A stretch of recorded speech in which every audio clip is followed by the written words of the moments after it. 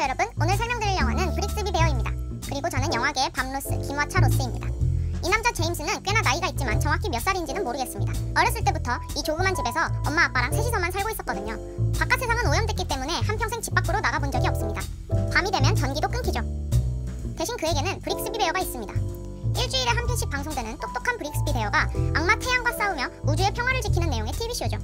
전 세계의 모든 사람들은 다른 방송은 없이 이 방송만을 보고 있습니다 이 브릭스비 베어는 다른 유명한 곰돌이 친구들에 비해서 그리 살갑거나 귀엽게 생긴 편은 아니지만 제임스는 오직 이 브릭스비 베어에만 심장이 반응하는 친구입니다.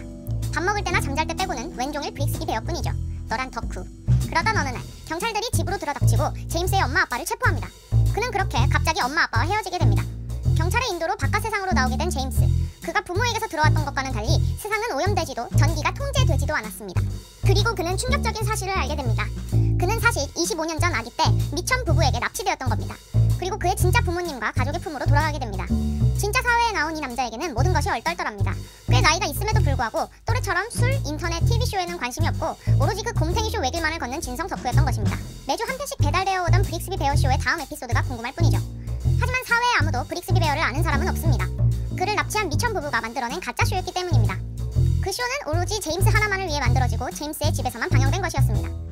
자신은 납치되어 그간 부모라고 믿었던 사람들은 알고 보니 가짜 부모였고 자신이 제일 사랑하던 TV쇼마저 만들어진 가짜였다는 사실을 알게 된 제임스. 과연 그는 이를 어떻게 헤쳐나갈까요? 브릭스비 베어, 국내 미개봉 작품으로 오직 왓챠플레이에서만 감상이 가능합니다. 지금 바로 감상하세요. 스케치북을 재밌게 보셨다면 구독과 좋아요 부탁드릴게요. 머스트 왓치 왓챠플레이